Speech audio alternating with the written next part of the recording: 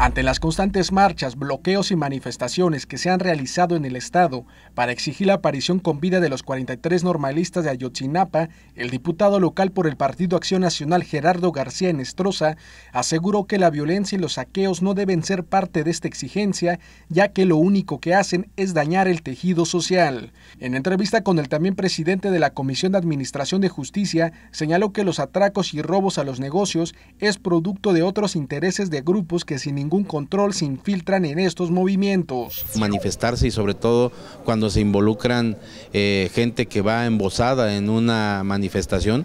Eh, nosotros siempre hemos estado de acuerdo en la libertad de expresión, en la, el hecho de que la gente salga y se manifieste, pero que lo haga con todo el respeto. La muestra está de que ahorita eh, cualquiera en un momento dado hace algún destrozo y por cualquier fianza sale de la cárcel y pues lamentablemente así las cosas pues no van a poder caminar. Yo creo que nosotros desde el Congreso tendremos que eh, trabajar sobre ese tema. Aseguró que para evitar la violencia en estos movimientos es necesario aplicar sanciones a autoridades ya que ellos son los responsables de atender las necesidades de la población. El legislador local exhortó a estas organizaciones a impedir el acceso a encapuchados a las marchas, además de que las autoridades no tienen la capacidad para detener a los vándalos. Bueno, en el caso de lo que está pasando a nivel nacional puede perjudicar y va a perjudicar porque pues a nadie le gusta que en un momento dado su negocio no trabaje y que su negocio esté parado y que tenga que cerrar porque no vende.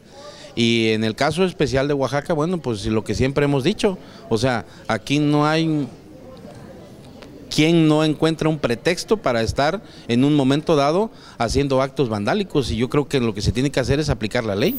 Con imágenes de José Antonio Reyes informó para MBM Televisión Irán Sánchez.